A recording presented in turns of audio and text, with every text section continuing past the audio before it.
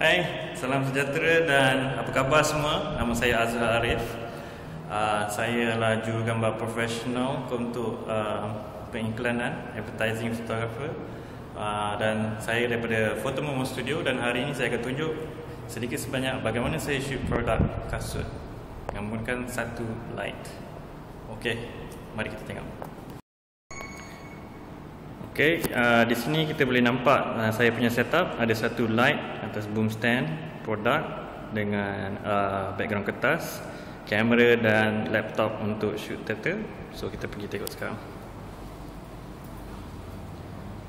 Okey, lampu yang saya gunakan adalah 600 watt dan kekuasaannya ialah 1 per 16. Saya letak atas boom stand kerana uh, saya mahu cahaya itu jatuh daripada atas dan uh, meninggalkan kesan bayang-bayang seperti yang berikut. Di sini saya uh, hidupkan modeling light supaya saya dapat nampak apa uh, rupanya untuk um, bayang-bayang tersebut ya. Okey. Backdrop ni hanyalah kertas uh, putih yang saya beli di kedai buku. Uh, dalam price tag ni ialah 60 sen sekeping. Saya beli dua keping. Size dia lebih kurang uh, A2 size dan uh, A3 size. Mungkin A2 size. Okay. Dan um, saya klipkan kepada dua banting stand yang akan saya tunjuk kejap lagi. Anda boleh juga guna um, kertas mahjong ataupun manila card. Jadi itu adalah banting stand yang saya ada dulu untuk satu projek. Dan saya cuma klipkan dengan klip buku. Uh, klip kertas ni yang saiz besar uh, RM2.50 sekeping jadi RM5.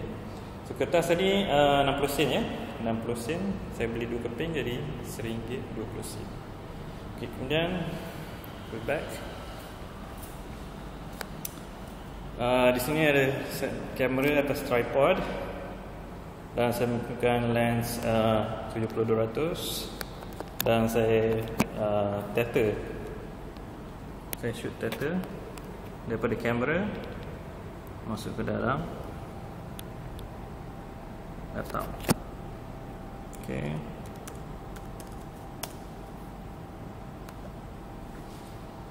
Dan hari ini saya menggunakan dan saya sentiasa menggunakan uh, Adobe Lightroom. Di sini saya menggunakan Adobe Lightroom 4. So kita start pergi file tethered capture capture.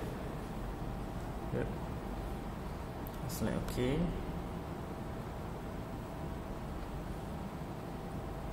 Okay dan kemudian nama kamera tu dah uh, telah muncul dan kita boleh shoot.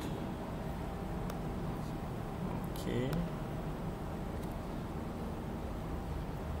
Okey, peralatan-peralatan lain yang saya ada ialah aksesori yang saya ada adalah sebelah kiri adalah flash meter dan ini adalah trigger untuk lighting dan ini adalah trigger untuk kamera. So pertama sekali kita akan uh, sukat jumlah cahaya. So pergi sini. Okey, di sini pertama sekali saya akan set untuk menggunakan ISO ISO 100 ok boleh nampak di situ ISO 100 dan shutter speed saya set 125 ok boleh tukar shutter speed yang lain. Dan di sini saya akan tekan button ni butang ini dan ikon ni akan blink dan maknanya dia bersedia untuk menyukat cahaya. Ok itu dia. Saya akan letak flash meter ni di mana uh, lensa saya akan berada. Jadi saya arahkan kepada sini dan saya akan ambil. Kemudian saya akan menggunakan uh, remote trigger ini. Dan triggerkan flash. Ok di situ bacaannya ialah F16 1 per 125 di sini ada beberapa pecahan ya. Dia 16 dan dia ada uh, 1 per 3 ke bawah. Satu per tiga ni. So barangkali dia dia belum sampai 16 tapi 16 sikit so saya akan mungkin guna F14 so base exposure ialah 1 per 125 F16 ISO 100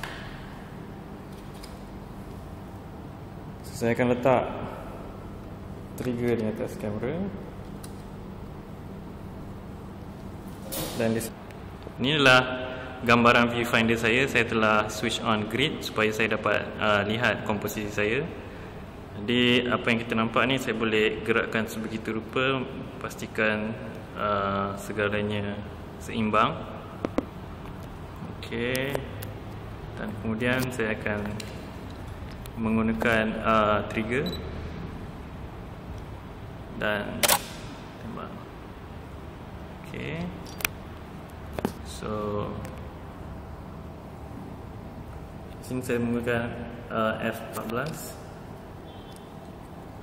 supaya dia lebih terang sedikit okey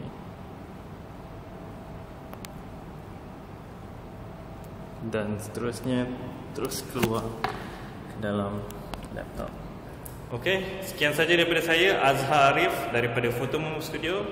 Uh, www.photomomo.com uh, Nantikan workshop selanjutnya daripada saya Dan sekiranya anda berminat untuk menghadiri workshop kami Layari www.photomomo.com workshop.